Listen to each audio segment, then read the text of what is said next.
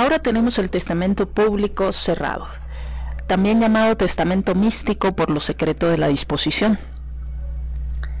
Recordando lo que estudiamos en el testamento público abierto, aquí el testador, sin revelar su última voluntad, declara que se haya contenida en el pliego que presenta a las personas que han de autorizar el acto.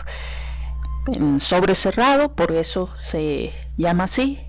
Entonces, el mismo notario desconoce cuál es la última voluntad del testador. Esa es la gran diferencia con el testamento público abierto. Se puede hacer constar en papel común y puede ser escrito ya sea máquina, computadora o manuscrito por el testador o bien por otra persona a su ruego. Aquellos que no puedan hacerlo, pues otra persona los ayudará. Los que no saben o no pueden leer son inhábiles para otorgar testamento público cerrado. Ahorita vamos a ver eh, quiénes sí pueden testar en ciertas condiciones, pero los que no saben o no pueden leer eh, no podrán entonces eh, realizar este tipo de testamento porque regularmente se requiere que sea de su puño y letra o que él sea el que lo escriba y aunque pueda haber la posibilidad de que otra persona lo escriba cuando él no pueda, eh, sería necesario que lo leyera para que tuviera la certeza de que lo que él le está dictando a otra persona pues es realmente lo que está sentando en el documento. Entonces por eso este tipo de testamentos no está permitido para aquellas personas que no saben o no pueden leer, no pueden realizar esa confirmación. Bueno, una vez escrito el documento se introducirá en un sobre que debe ser sellado y cerrado por el testador o bien por la persona que él designe. Posteriormente, el testador acudirá ante notario acompañado de tres testigos. Si se fijan aquí la formalidad es igual al testamento público abierto. Y en caso de que otra persona haya firmado por el testador, pues esta persona deberá acompañarlo. El testador declarará al notario que en el pliego que presenta se encuentra su última voluntad. En caso de que otra persona haya firmado por el testador, a su ruego, Además de acompañarlo a la presentación del testamento, le harán ver esa circunstancia al notario, que deberá asentarlo en el acta que extienda en su protocolo.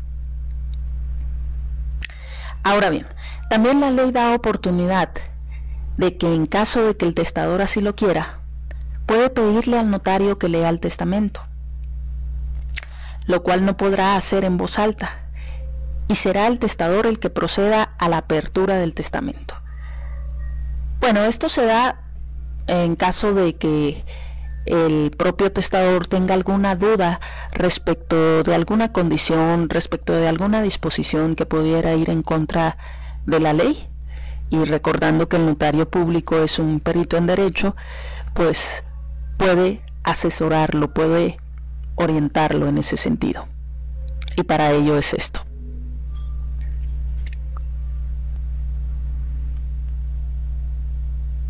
Entonces el, notario leerá para sí el testamento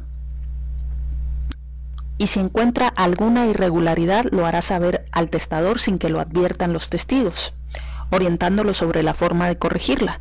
En este caso puede solicitarle a los testigos que salgan para hacerle ver al, al testador en dónde está la irregularidad y que el testador proceda a corregirla. Ahora bien, el notario debe guardar el secreto profesional con relación al testamento público cerrado que hubiere certificado, siendo responsable en caso de violar dicho secreto.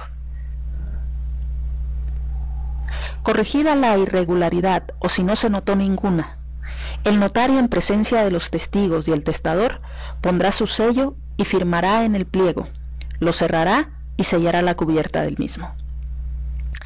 Ahora bien, también el notario deberá dar fe del otorgamiento tanto en el acta del protocolo, que es el librito este que estamos viendo en la pantalla, como en la cubierta del sobre que contiene el testamento, y se pondrá el sello del notario. En la cubierta y en el acta del protocolo, además de imprimir su huella digital el testador, también deberá firmar, así como los testigos, el notario o la persona que firma por el testador. Si alguno de los testigos no sabe firmar, debe llamarse a otra persona que lo haga en su nombre y en su presencia. De modo que siempre debe haber tres firmas, además de la del notario y del testador. O bien de la persona que firme en su ruego. Si al hacer la presentación del testamento el testador no puede firmar, lo hará otra persona en su nombre y en su presencia, que no será ninguno de los testigos. Entonces, siempre se requerirá tres firmas aparte de la del testador o de la persona que firme a su nombre o en su ruego y de la del notario.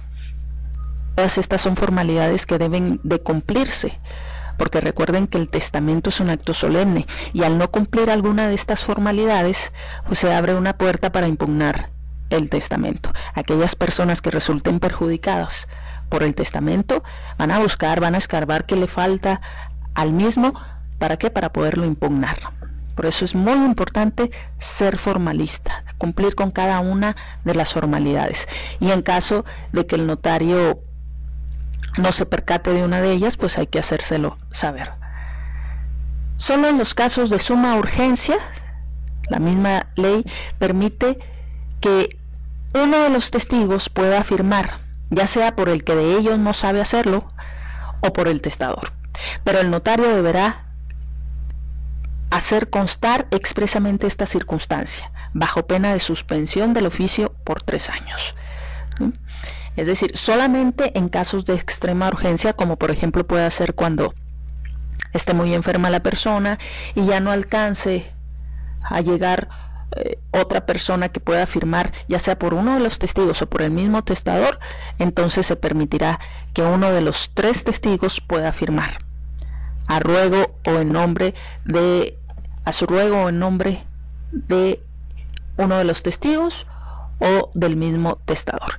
Pero le está enviando un mensaje la ley al notario. Deberá hacer constar la circunstancia, expresamente la circunstancia. Con algunas formalidades también pueden testar, nos establece la ley, el sordomudo. Pero en este caso deberá estar escrito, fechado y firmado de su propia mano. Aquí no, se admite que sea en máquina, en computadora. Y al momento de presentarse ante el notario, en su presencia deberá escribir frente a todos en la cubierta del sobre que en aquel pliego se contiene su última voluntad y que va escrito y firmado por él. Asimismo, el notario en este caso asentará en el acta del protocolo que al respecto extienda y en la cubierta del sobre que contiene el testamento que el testador lo escribió así, observándose además las demás formalidades ya mencionadas.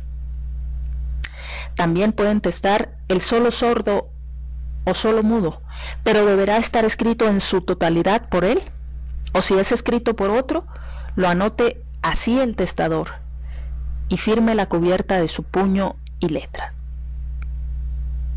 Recordando lo que mencionábamos al inicio, que los que no saben o no pueden leer son inhábiles para otorgar testamento público cerrado. Y ya mencionamos por qué.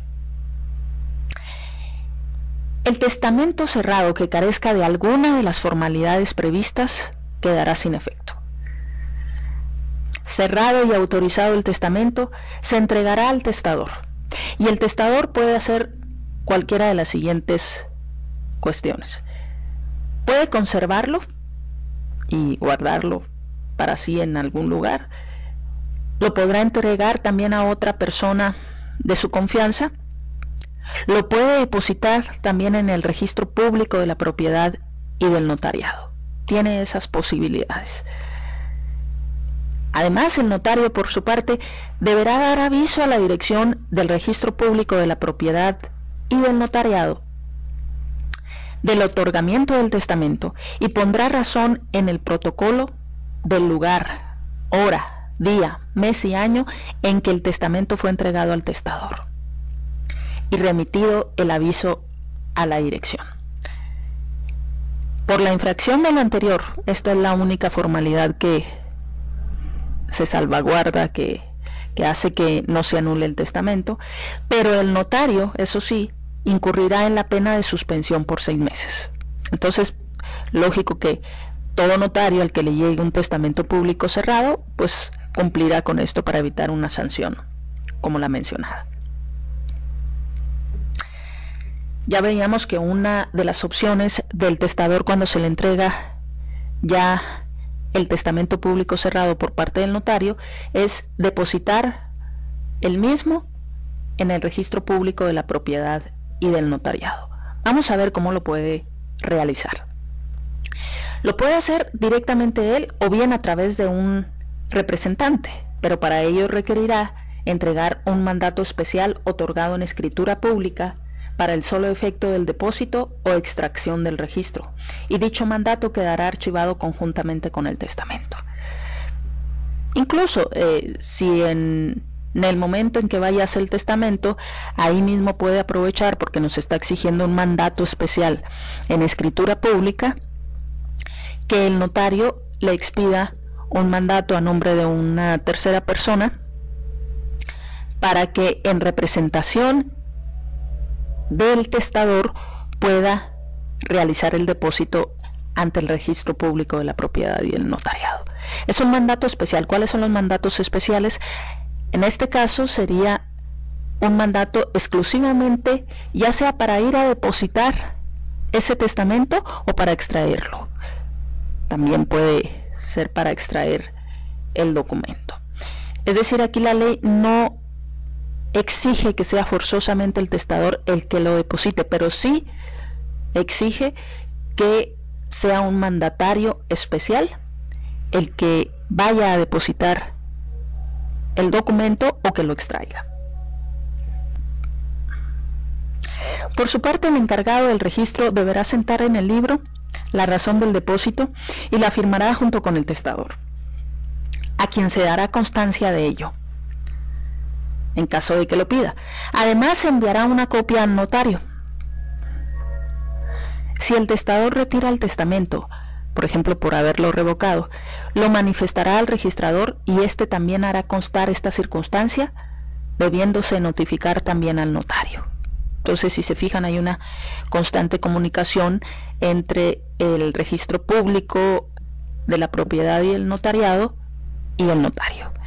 En un primer momento, cuando se acude al notario, éste tendrá que dar aviso de esa circunstancia de que ante su presencia se otorgó un registro, un testamento público cerrado y también cuando se deposita, por su parte el director del registro público de la propiedad y, del notariado tendrá que dar aviso al notario que se hizo ese depósito.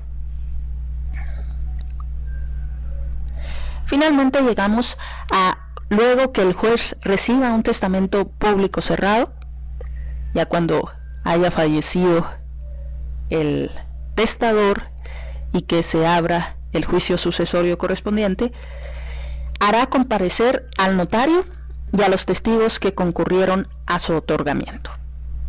¿Esto para qué?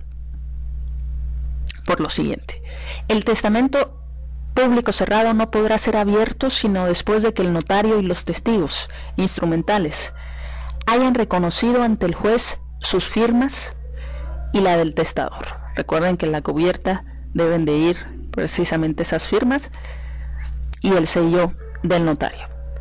Entonces hay que hacer ese reconocimiento, no solo de las propias firmas de los testigos, sino también las del testador y del notario o bien de la persona que haya firmado por el testador o por alguno de los testigos, como veíamos.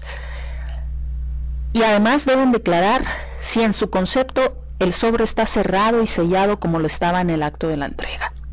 Esto es para evitar que haya sido violado, alterado, extraído, etc. Si no pueden comparecer todos los testigos porque hayan fallecido, estén enfermos, o haya una ausencia, bastará el reconocimiento de la mayor parte y el del notario. También si por iguales circunstancias no pueden comparecer el notario, la mayor parte de los testigos o ninguno de ellos incluso, porque hayan fallecido todos, por ejemplo. El juez lo hará constar así por información de personas fidedignas y verificará la legitimidad de las firmas y que en la fecha del testamento se encontraban aquellos en el lugar en que éste se otorgó. En cualquier caso, los que comparecieren reconocerán sus firmas. Por ejemplo, en el caso del notario puede ser eh, los empleados de la notaría y en el caso de los testigos pueden ser sus familiares los que reconozcan esas firmas. Una vez cumplido todo lo anterior, el juez decretará la publicación y protocolización del testamento. Por su parte, el testamento público cerrado va a quedar sin efecto si se encuentra roto el pliego interior o abierto el que forma la cubierta, o borradas también, raspadas o enmendadas las firmas que lo autorizan, aunque el contenido no contenga alteraciones. Por ello, para evitar todo esto, la posible alteración del documento, lo mejor que puede hacer el testador una vez que se le entrega su testamento público cerrado es irlo a depositar al registro público de la propiedad y del notariado. Porque por ahí si lo deja una persona de su confianza o si lo deja por ahí guardado en algún lugar de su casa, por ejemplo, de su oficina, y después alguien lo encuentra y lo entrega, pero se demuestra la alteración, va a quedar sin efecto ese testamento. Finalmente, la ley establece que toda persona que tuviera en su poder un testamento público cerrado y no lo presente, o bien lo sustraiga dolosamente de los bienes del finado, si fuere heredero por intestado, va a perder el derecho que pueda tener, sin perjuicio de las penas que le correspondan conforme al Código Penal.